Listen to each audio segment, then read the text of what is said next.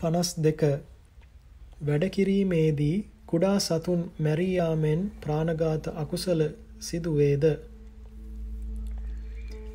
ගොවියා පොළව කෙටීමේදී පණුවෝ කැපී මැරති.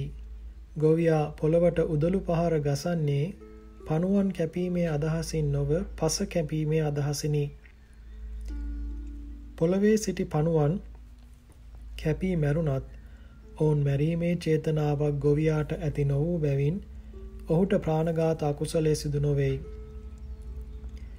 හේන් ගිනි තැබීම්, කසල ගිනි තැබීම්, කුඹුරු සකස් කිරීම, පහන් දැල්වීම, ගමන් කිරීම, රිය පැදවීම යනාදිය නිසා සිදුවන සතුන්ගේ මරණය ගැන කිය යුත්තේද එයමය.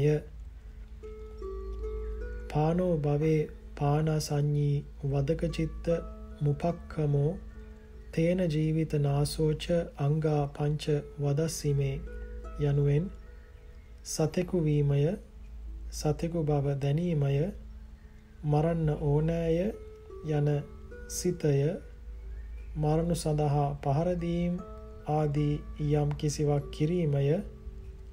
ඒ කළ දෙය නිසා සත්වයාගේ මරණය සිදුවීමේ යන කරුණු පහ සම්පූර්ණ වීමෙන්ම ප්‍රාණඝාත අකුසලයේ සිදුවෙයි. එකක්වත් අඩු වී සිදුවන මරණයකින් ප්‍රාණඝාත අකුසලයේ සිදු නොවේ. පොළොව කෙටීමේදී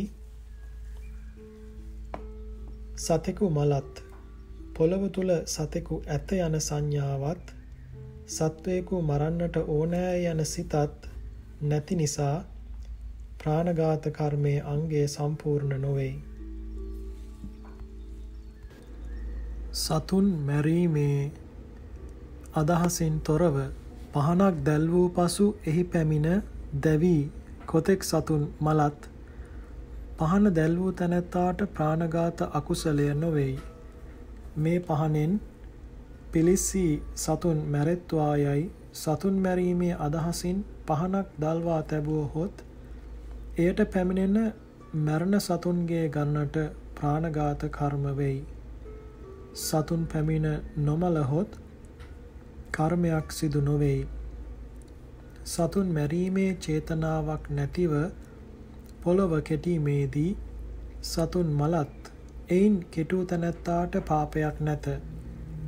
සතුන් මැරීමේ අදහසින් පහනක් දැල්වුව හොත් සතුන් නොමලේද පහන දැල්වූ තැනැත්තාට එයින් තරමක පාපයක් වෙයි. සතුන් නොමලේද පහන දැල්වීමේදී ප්‍රාණඝාත චේතනාව ඇති වූ බැවිනි. ප්‍රශ්නය විසඳා ගැනීමට උපකාර වන විනයෙහි එන කරුණු ස්වල්පයක් දක්වනු ලැබේ. බුදුන් කල එක්තරා පිණ්ඩපාතික භික්ෂුවක් ගෙදරක පුටුවක් මත රෙද්දකින් වසා නිදි කරවන ලද ළමයෙකු මත වාඩි විය. එයින් ළමයා මලේය. ඒ භික්ෂුව ඒ ගැන සැකයට පත්ව ඒ කාරණය බුදුන් වහන්සේට සැලකලේය.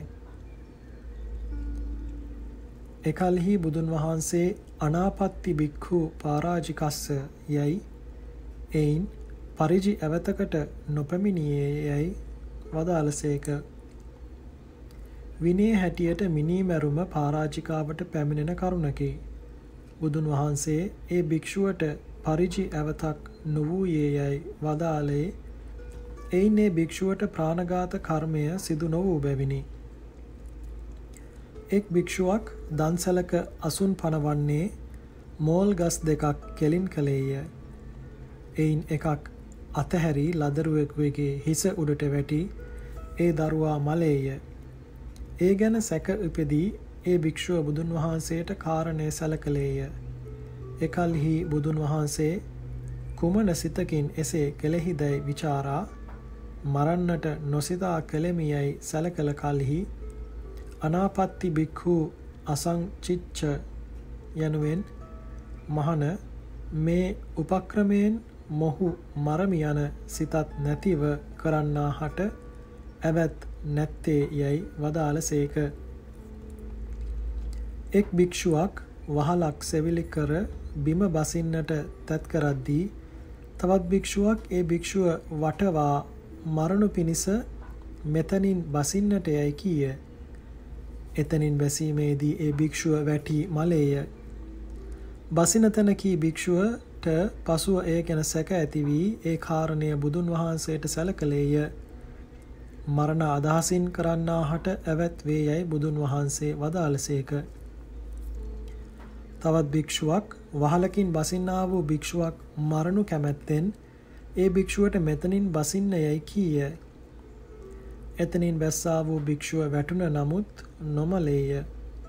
පසුව සැකයටපත් ඒ භික්ෂුව තමා කළ දෙය බුදුන් වහන්සේට සැලකලේය. එකල්හි තථාගතයන් වහන්සේ මහන තෝ පරාජිකාපත්තියට නොපැමිණියෙහිය. චුල්ල චුල්ලච්ච ආපත්තියට පැමිණියෙහිය යයි වදාළසේක. ඒ භික්ෂුව පරාජිකාවට නොපැමිණියේ ඔහුගේ උපක්‍රමයෙන් අනික් භික්ෂුව නොමල බැවිනි. තුලසි ඇවතකට පැමිණෙන්නේ උපක්‍රමය කිරීමත් පාපයක් වන නිසාය.